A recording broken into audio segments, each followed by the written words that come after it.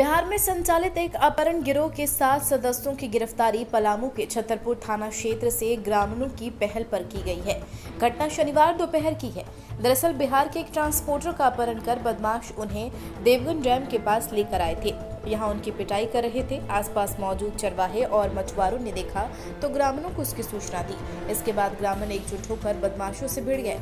इस दौरान एक बदमाश शिकार से भागने में सफल रहा जबकि बाकी बदमाशों को लोगों ने पकड़ कर बाँध दिया और पुलिस को सूचना दी।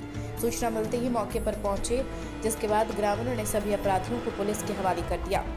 पूछताछ के दौरान पता चला, सभी अपहरणकर्ता हैं। सभी अपहरणकर्ताओं ने मिलकर बिहार के औरंगाबाद स्थित नबीनगर के रहने वाले ट्रांसपोर्टर शैलेंद्र चंद्रवंशी को किडनैप कर हत्या के नियत से छतरपुर के देवगुन डैम लाया था। यह क्षेत्र बिहार बॉर्डर से 25 किलोमीटर दूर है। दो कार और दो बाइक पर सवार होकर आठ बदमाश शैलेंद्र को लेकर देवगन डैम आए थे। यहाँ ट्रांसपोर्टर के साथ मारपीट की जा रही थी।